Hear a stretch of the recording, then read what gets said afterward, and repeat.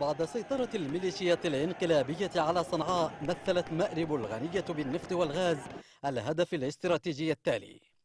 غير أن استشعار أبناء المحافظة والأحزاب السياسية والسلطة حين ذاك للخطر القادم دفع بهذه المكونات إلى اتخاذ موقف موحد ورافض للانقلاب وإعلان قرار المواجهة والدفاع عن المحافظة.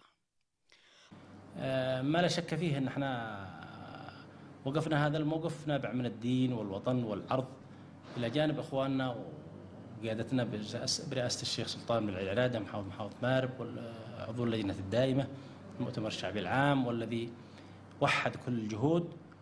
وأصدرنا بيان شديد اللهجة ووضحنا موقفنا وقطعنا علاقتنا التنظيمية بصنعاء مباشرة ورفضنا الخنوع لذلك التحالف.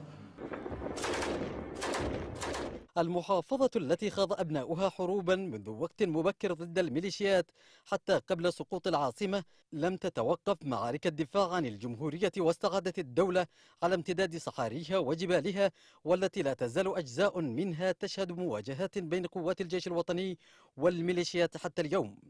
وبالنظر إلى التحولات الكبيرة التي قطعتها مأرب وهي تسابق نفسها حتى أصبحت أشبه بعاصمة عسكرية واقتصادية بعد أن استراحت قليلا من الحرب يتضح إن ما تحقق هو نتاج طبيعي لمقاومتها مشروع الانقلاب واختيارها موقع الصدارة في رفض المشروع الإمامي الرجعي. استطاعت أجهزة الأمن أن تضبط الوضع. أيضا السلطة المحلية وفرت آه، خدمات آه، كبيرة للمستثمرين. آه، هناك يعني فتحت كثير من يعني الاستثمارات. محافظة مارب أثبتت مرونتها وقابليتها لتعايش جميع فئات المجتمع اليمني فيها. استقبلت جميع النازحين من جميع المحافظات وفرت الخدمات ولو بحدها الأدنى.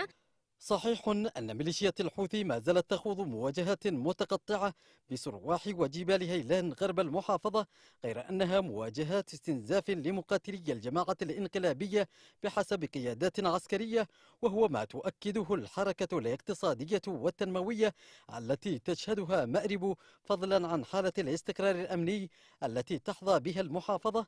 ما يجعلها الأكثر مناسبة للعيش والعمل إذا ما قورنت ببعض المحافظات المحررة.